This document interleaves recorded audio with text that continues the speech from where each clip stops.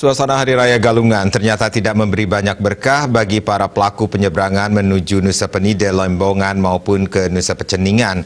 Pasalnya saat Hari Raya kali ini tidak terjadi lonjakan penumpang yang signifikan. Berbeda ketika Hari Raya Idul Fitri lalu peningkatan jumlah penumpang sangat banyak.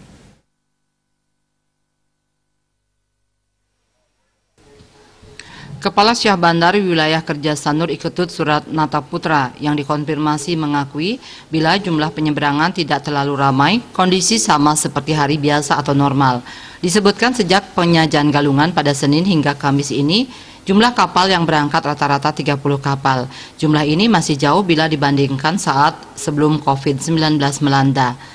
Karena saat itu rata-rata per hari ada 54 kapal yang jalan, sedangkan jumlah penumpang yang menyeberang rata-rata 1.500 per hari.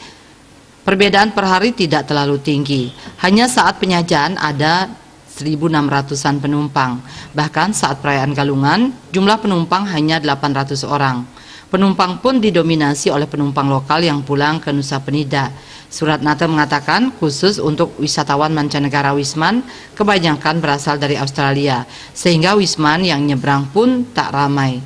Dirinya mengatakan untuk penumpang dari Asia masih belum ada.